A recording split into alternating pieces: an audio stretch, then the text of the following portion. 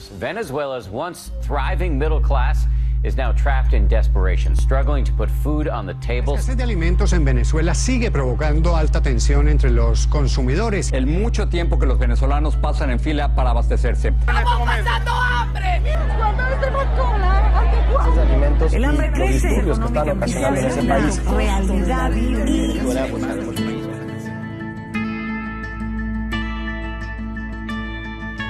¿Cómo podemos ayudar a las personas para que consigan lo que necesitan de forma segura?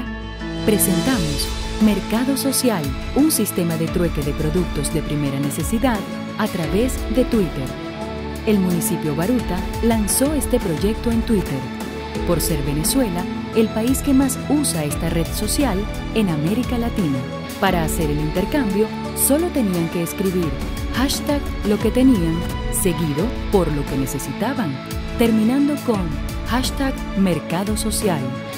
Se implementó una campaña integrada para explicar la dinámica de este sistema innovador de trueque a los venezolanos. También se instalaron puntos de intercambio para que las personas realizaran el trueque de forma segura.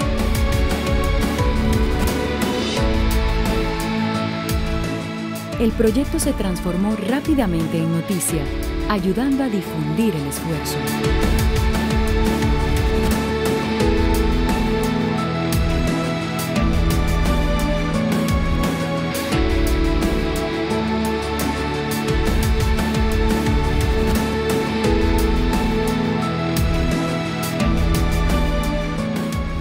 Mercado Social. Ciudadanos ayudando a ciudadanos.